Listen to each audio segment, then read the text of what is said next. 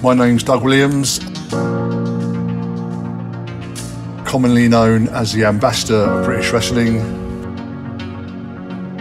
I've won championships in every promotion that I fought for, and I'm still going.